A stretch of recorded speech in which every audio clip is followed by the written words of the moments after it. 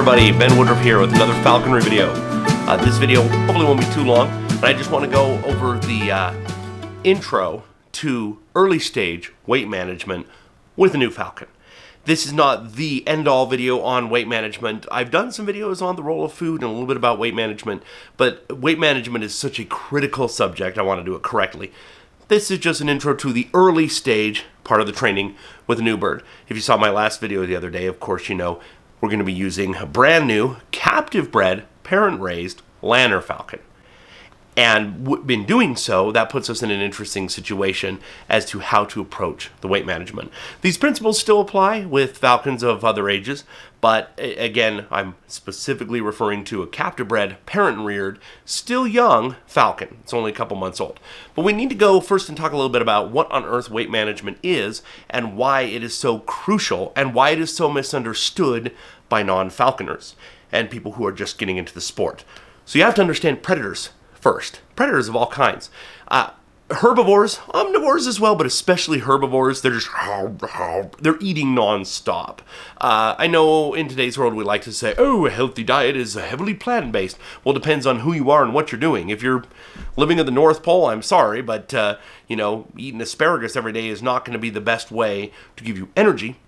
It's going to give you a lot of vitamins you need, though, right? So there's different things. And is the is this plant cooked or is it raw? Well, in the wild, no other animal cooks their food besides us. That's important to remember. So herbivores are just you look at grazers.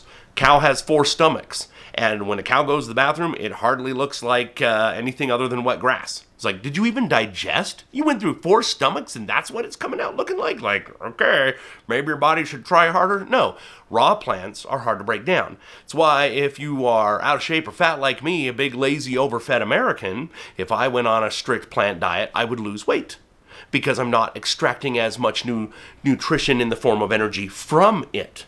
So it's actually can be a very good thing. But you know, so that's something to remember when we're talking about this thing is there is don't just say a set statement this food is good this food is bad this food has energy. What do you mean by that right? There's there's complex complex layers when it comes to nutrition for humans or any other animal. But generally speaking predators the name of the game is conserve energy. Reduce the amount of calories you expend and try to acquire as many calories that you can use as possible right? So think about a lion do you see lions doing jumping jacks all the time? No. Most of the time, lions are just laying around. Lions are lying around. Uh, no pun intended there. They are just chilling. Why should they do anything more? If you're doing more, you're expending energy that you need to hold on to for survival. We live in an age where most people have access to uh, food that they can purchase like at a grocery store, right? And we have refrigerators where we can store food so that it won't go bad. That's not how it is in nature. You have to survive. So the idea of a predator is I when I am going to do something to acquire a caloric intake and expend energy to do so, I want to make it count. I'm not just going to go mess around wasting and burning energy for no reason. So you, you, when you're watching like all these National Geographic videos and stuff, and you see a cheetah running and okay, wow, look, this cheetah's chasing this impala, trips it, gets it. You see a lion running, running, rah, gets a zebra, right? We're like, wow. You see this bald eagle catch a fish, wow. Those are the clips we see. But 80, 90% of the rest of that animal's life is just sitting around an eagle. I'm just sitting here on a tree, making sure nobody else comes to kill me. Mm-hmm. And you're like, look, oh, there's an eagle. Maybe it's gonna fly. Is it full? it's probably not gonna go fly. Look, we're on a savannah, er, the African savannah on a safari. Look at those lions. Are they gonna do it? They're just sleeping. Why aren't they doing anything? I, I want them to do something. They're not there to entertain you. They're there to survive. They're wild animals trying to survive. We need to remember that principle because we've done everything we can to pull ourselves out of the natural cycle of things, of the natural order of things. That's that's that's tricky because our thinking is inaccurate. When it comes to falconry, you got to remember that wild birds are the same way. A falcon, hawk, an owl, an eagle, anything you're training, their default setting is like, well, if I have the ability to kill something, I want to eat as much as I can. That was a big meal, um. I'm just gonna sit on this fence post for a day and digest. I don't know, I might not hunt for a few more days, guys. That's what they're doing. That's what's normal, is to gorge fast. Gorge fast. And most large predators and most apex predators, that's what we see them do. Falconry is different, right? Falconry is not just the natural order of things in the wild. Falconry arose originally from ancient peoples in different parts of the world, uh, find, trying to find a better way to acquire food. Remember, we're talking about before bows and arrows, certainly before guns and grocery stores, and most importantly, before agriculture in most parts of the world, right? And so it's like we we hunt. We're using spears and atlatls, our bare hands, our wit. Um, wait a minute! Oh, look that falcon dove down and it knocked a bird out of the sky. Maybe it caught a duck. The duck's too heavy to fly off with, and so it's mantling over it. I'm going to run over, scare it off, steal its duck. Wait a minute, what if I trained that falcon to do that every day and we shared the meal? Then every day, I could, it's like a happy meal. I got me a duck, you have part, I'll eat the rest. That was kind of the idea. It was about survival. It was about a more efficient way, which is funny because in most parts of the world now, falconry is one of the most inefficient ways to get food. I, I, I remember that there was even in medieval times. I don't remember which book, but there's a there's a famous quote where um, it was kind of like a, if I recall, it was like a poetic view where there was a lord and he had all his trappings and he had his professional falconer with a cadge of falcons and he's on his horse with his favorite falcon and his hounds to smell out and, and he's traipsing across this farmer's land and this farmer is like like kind of almost mocking him like you have to have bells. You have to have this trained bird. You have to have hood leather equipment all this stuff all this training. It's like you know you know why not just use a bow and arrow or why not just go down to the poultry farm and just purchase a duck? You're wealthy. And he's like you don't understand sport. And there's something like that. And so it's not the most efficient way to get food. It's about the love of well, for different people, it's different things. But for me, it's the love of the birds and seeing them do what they do best. So back to the point of weight management. If you flew them like a wild bird, then you would have them go hunt, catch something, gorge themselves to an unhealthy level, and then just not fly them for a week. You know, you're like, you're too fat. You know, yeah, I'll feed you after a couple days, but you know, you're too fat and then we'll do it again. And what you're gonna what, fly your birds like seven times a season? That doesn't work. So think of a bird of prey. You think of your falcon as a as an Olympic athlete, an Olympic athlete that you're training. And so you got to think about where's the motivation. What do they want to do? Are they healthy? Are they fit? Do they have energy? And do they have motivation? Do they have drive to go actually pursue prey? Normally, just straight up hunger is, right? If you have been fasting for several days, then it's like, whoa, I gotta go now get some more food or else I'm gonna die. That's not what we wanna do. We don't wanna have like feast or famine. We want a bird that we can consistently hunt every day. A bird that is motivated to hunt, and a bird that has energy to hunt and actually pursue and perform athletically. And just like an Olympic athlete has to work out, they have to reduce the fat, build up the muscle, and work out and exercise. Uh, I'm out of shape if, if, if I just ate a big old huge meal and you said, hey, Ben, go run a marathon and I'll give you a hamburger as a reward, I'd be like, no, I'm just going to sit on this couch and digest because I ate too much for breakfast. Right? So, weight management with a bird is, um, and again, this isn't the end all weight management video. I'm, I'm going to be specifically talking about how to approach it with a new bird. So, uh, you have your bird fat, you think of a butterball turkey, right? You have the keel bone and you have the flight muscles here, these uh, pectoral muscles that attach here to the arm, call it a wing, but it is an arm, that pull the wing down and in, okay? So think if you're eating a turkey, the breast meat, that is the musculature that you want to build up the muscle and reduce the fat from, right? So feeling the keel, that's how we did it in ancient days that's a rough indicator of the health of your bird. But far more importantly is a scale. I use a digital scale that weighs in grams. Some people will go half gram, quarter gram, and there's people who weigh in ounces, and there's people who prefer uh, non-digital scales. But for me, weighing in grams seems to serve me pretty well with a digital scale. So with um, normally I, I, have a much more uh, specific regime of how I'm going to um, kind of approach it during the hunting season. But we're dealing right now with a baby bird, full sized, but a baby, only a few months old. And so the approach needs to be slower, and it's not so much about um, it's not, it's not so much about getting to a set weight at this point. At this stage, it is more about tracking and establishing a baseline.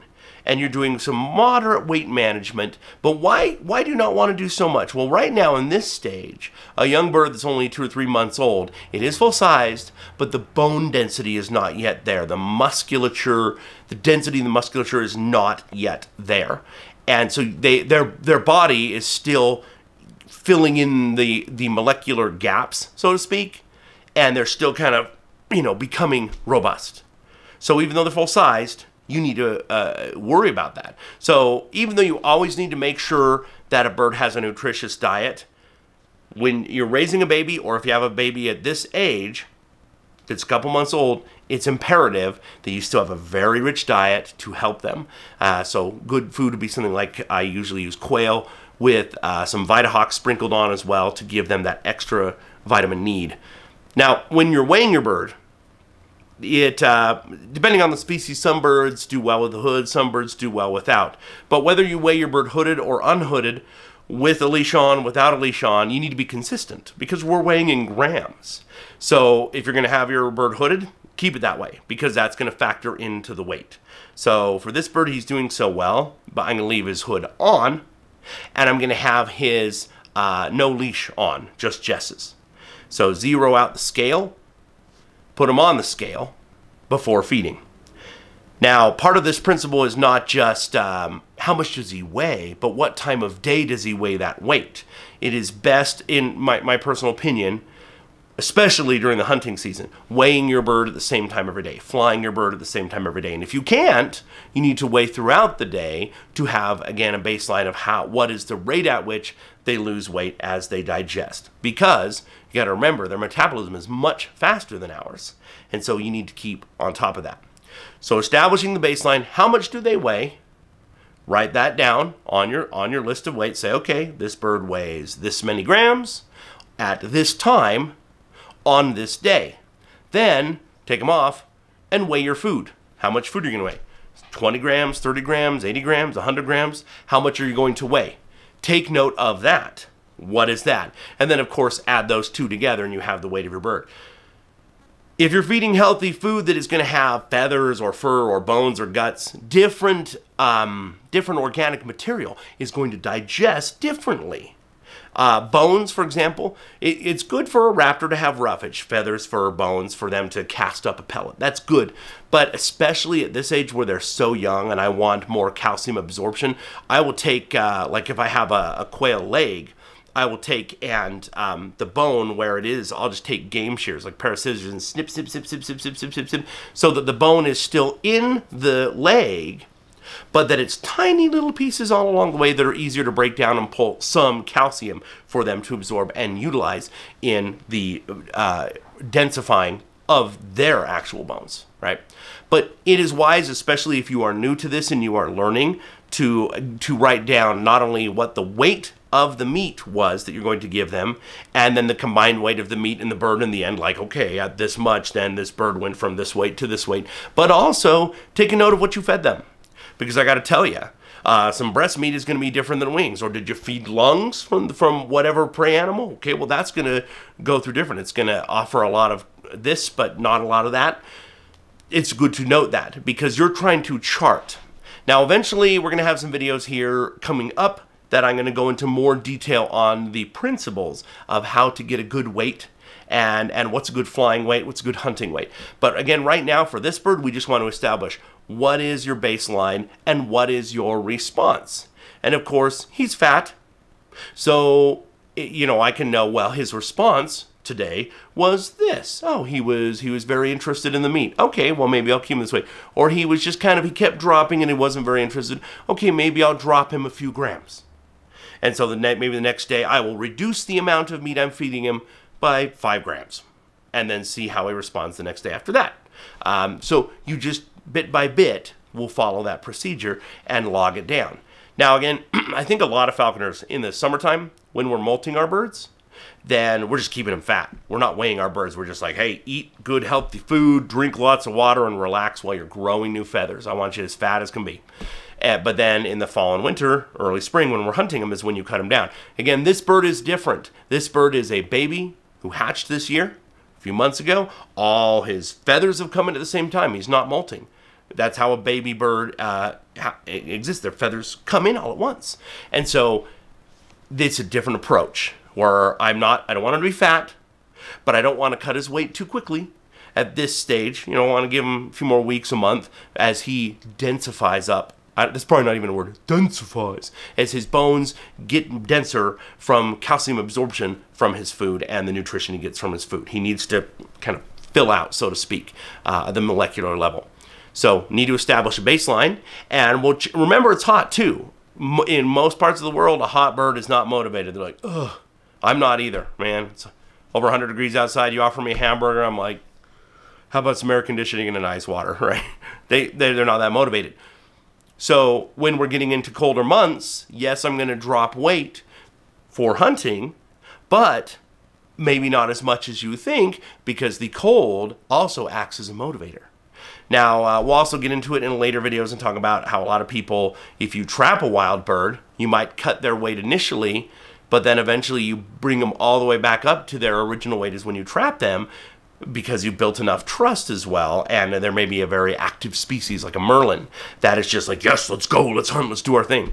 But we'll get to that later. As for this one i hope this uh, helps you understand just the very basics of charting with a new bird brand new bird uh, that's still growing uh, still becoming denser in the bones. And um, let me know if you have any questions about this. Uh, again, knowing that I'll have more videos on uh, coming up on weight management. If you haven't already, please hit subscribe. It really does help me build this channel up. I'm trying to get it going and help uh, reach as many people as I can. And uh, to everyone everywhere, as always, happy hawking.